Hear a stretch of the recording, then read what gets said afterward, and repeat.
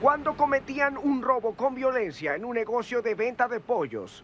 Dos hombres fueron capturados por la policía en el municipio de Guadalupe. Los hechos ocurrieron la mañana de este lunes en el inmueble ubicado en el cruce de Los Ángeles y Triunfo de la República, en la colonia Paraíso.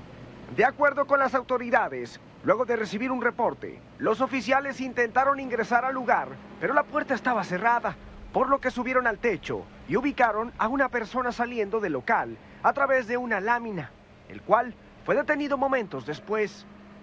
Al entrar al negocio, los elementos policíacos ubicaron a un cómplice en el segundo piso, que también fue asegurado.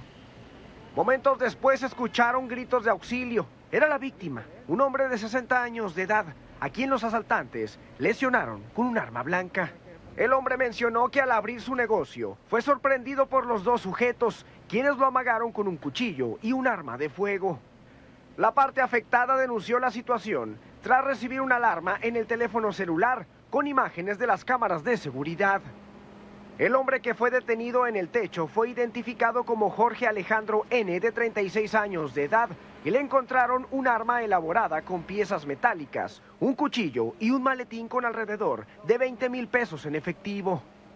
En tanto, el cómplice fue identificado como Ociel N, de 43 años de edad, quien traía una pistola escuadra 9 milímetros con cargador abastecido. Luego de la captura, las autoridades aseguraron una camioneta GMC color arena, en donde arribaron los ahora detenidos. Se informó que cuenta con varios reportes de haber participado en varios robos con violencia en otros municipios. Con imágenes de Julio Lozano, Telediario, Eric Solheim Rocha.